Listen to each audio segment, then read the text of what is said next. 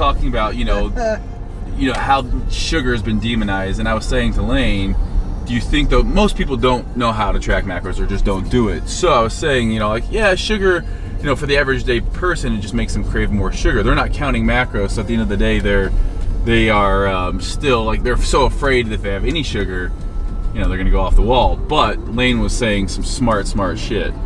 Yeah, I mean, like one of the things is, you know, I think the overall message of like, so let's say take something like paleo, right?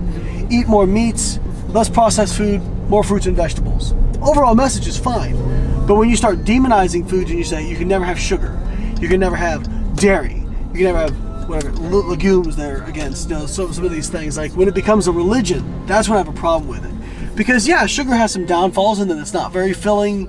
Um, it's going to leave you, you know, a little bit hun- like if you're eating most of your foods from sugar, you're going to be hungrier, you're not going to be Right. as fulfilled. You know, so yeah, you want to eat enough fruits and vegetables. So you're still you're gonna eat over your macros. Basically, was what it comes down. to. Exactly. And my, my problem with it is the demonization of foods. Because, listen, when I went to grad school, I wanted to find magic foods. I did. Like, because if I found magic foods, shit, dude, I'm I, like, I'm gonna, I'm gonna You'd be be a rich. gazillionaire. I'm, yeah. a, I'm a rich, right? And I remember sitting at a, a, a party for uh, the, the Division of Nutritional Sciences at the University of Illinois, and one of the professors over there who did a lot of research on high fructose corn syrup, which has been demonized in the media, right? Yep. And the other professor and him were talking, and, and, and he said, you know, yeah, it- you know, high fructose corn syrup. The, the professor who did the research on it says, you know, it doesn't seem to be any more lipogenic than than you know other carbohydrate. And the other professor goes, well, that can't be true. Like, look at you know, what about these? He said, yeah, well, the people just overconsume calories. Right. And this is a guy whose whole life was based off of research on high fructose corn syrup. You know? Interesting. So, so- all those, all those, you know, forks over knives, or, or I don't know. There's so many on Netflix that I've seen, and I leave thinking, oh my gosh, I have to cut out this, this, and that. If I ever have hydrogenated oils or high Yeah. fructose corn syrup, it's like I, I, I'm just ruining my body. And I agree that again, getting back to the fact that those things are gonna. I think it's undernourish your body. So again, if that's all you ate, Well, you want to limit them. yeah, you're gonna be.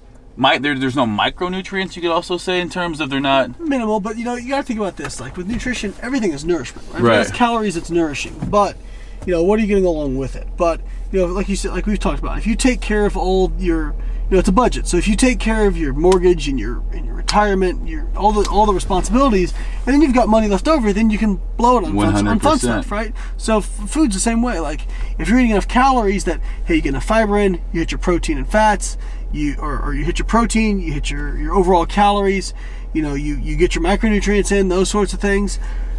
If you got 200 calories left over to go blow on some ice cream or some not? skills or whatever, then what's wrong with that? You And I think that's that's the kind of the you know in that in all the takeaway messaging from these like those those documentaries you see on Netflix, it's the people that have success stories. What have they done?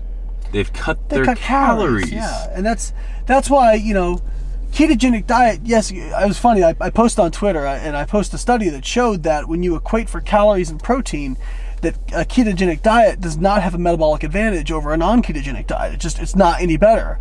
Now, what, what somebody replied to, so that's what I say. What people hear is Layne said keto didn't, doesn't work.